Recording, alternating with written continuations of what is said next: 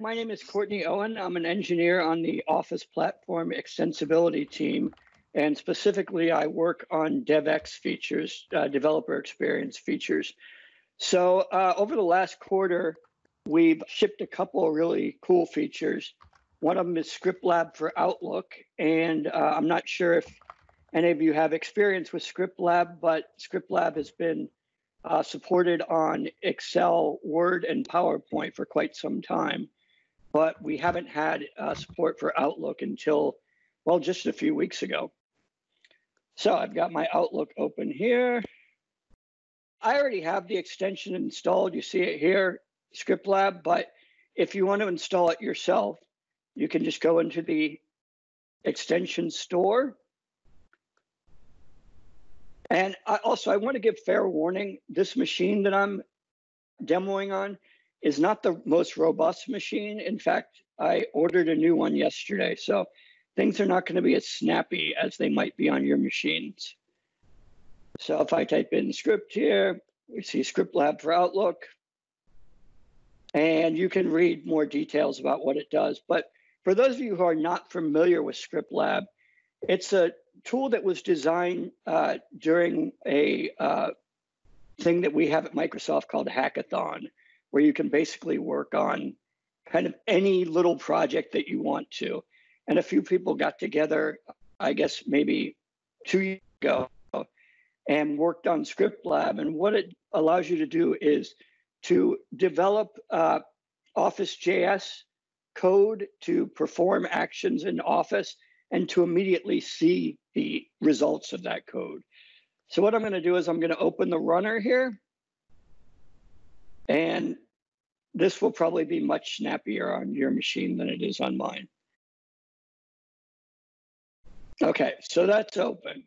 So first I'm just going to show you, I have a script already loaded. And if you see this little uh, tack here, this allows you to pin the task pane such that when I navigate through mail items, the task pane will remain open and pick up the context of the mail item that I'm in.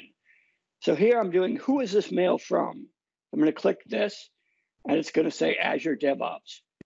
When I go down here, it remains open and it says it's from Lou. And you can just keep going on from there. Now, let's say that I want to do a new script. I want to create a Office.js script that does something different. So then I can either go here and click on code, or there's a button here that says open code editor.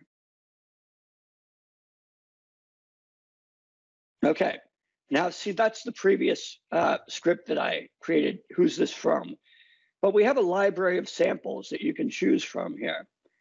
And ScriptLab for Outlook is supported in Outlook read mode, Outlook compose mode, appointment create mode, and appointment attendee mode. So uh, the samples here indicate what the mode is. So since I'm in read mode right now, let's find another read script. And see how that automatically loaded there? And then I can go, who's this to? And once again, navigate through here and you can see uh, this out uh, Office.js is immediately executed in your pane here. So you can, you know, make a quick change, just add a couple exclamation points. And you'll see those exclamation points were picked up, message sent to. So it's a super fast way to test out your Office JS scripts. And this is new to Outlook. This is also supported on the web. So if I go over to the web here, the uh, UI is a little bit different for the web, uh, just because the way Outlook Web Access works. And so here, it's a flyout here, and you do run, and you can pin it just as you do in desktop. Once again, who's this from? Who's this from? So that's how Script Lab for Outlook works. So um, we work on uh, Edge, Chrome, Safari. We work on Windows Desktop, Mac Desktop.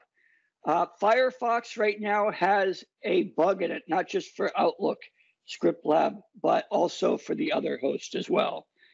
So uh, hopefully you guys will appreciate that and give it a shot.